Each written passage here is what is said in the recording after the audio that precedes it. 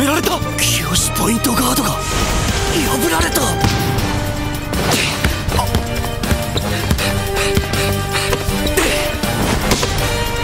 させるか。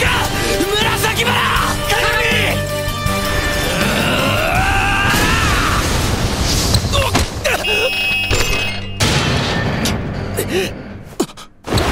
そもそもバスケなんて欠陥競技じゃ。ゴールは3メートルの宙にある。その時点でフェアなんて言葉はないんだよ。結局でかいやつが勝つようにできて。るそれがこのクソスポーツの根本だろこんなもんの何が楽しいの？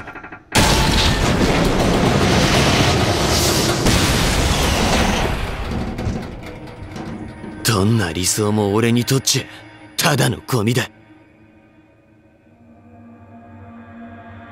ゴールぶっ壊しやがった。嘘だろ冗談きついぜ。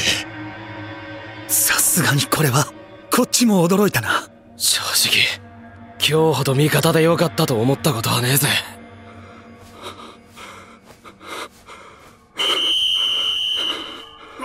ゴール破損のため試合を一時中止します。交換作業が終わるまで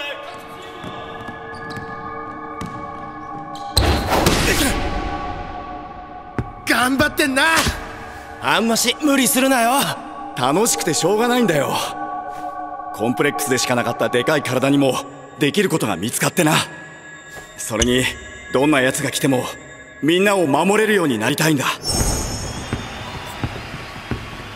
結局そんなもんついイラついて本気になっちゃったけど必要なかった。そういやプレイ中になんか守るとか言ってた？何も守れてないじゃん。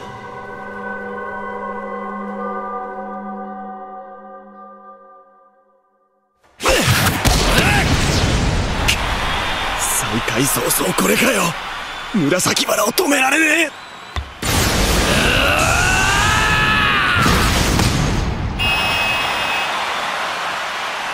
ぱり。ダメなのか？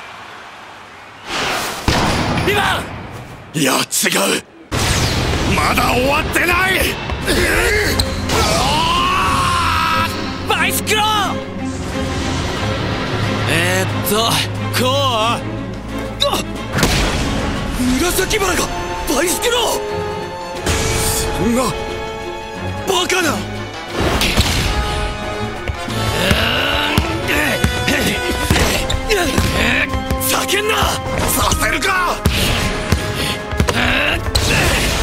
返すもんか。もう二度と。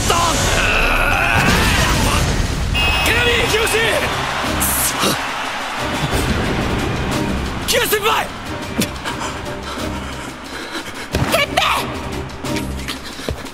まだ。だまだ終わって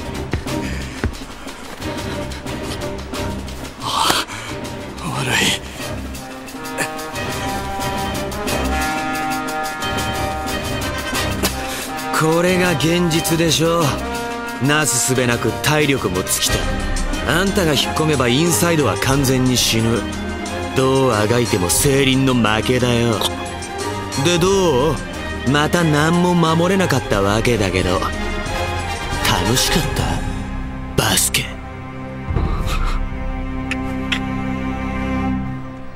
紫原